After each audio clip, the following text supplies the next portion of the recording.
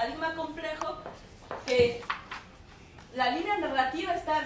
está en una forma horizontal que es la anécdota, pero una anécdota que es que en cada acción hay una dimensión social, política, religiosa, eh, incluso azarosa, económica,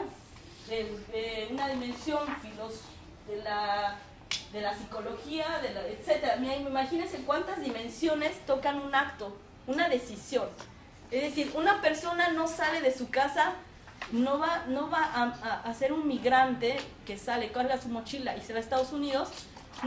no, solamente por una, un, un asunto moral, una dimensión moral o económica, son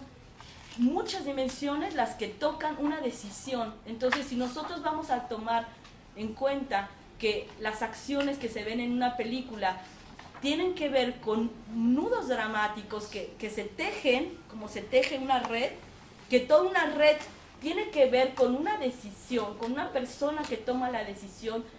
de un acto conciso, un evento, estamos haciendo una película compleja, una película humana, no una